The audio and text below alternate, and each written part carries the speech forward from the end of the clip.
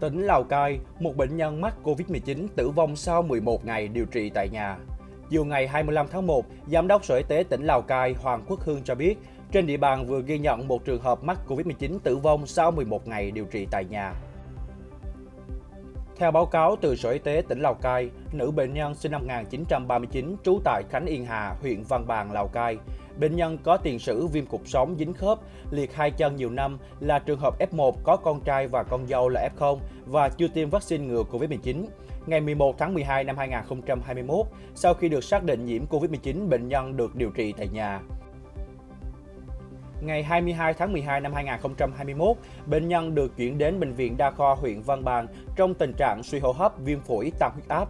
Bệnh nhân được điều trị theo phát đồ của Bộ Y tế đến sáng ngày 23 tháng 1 năm 2022.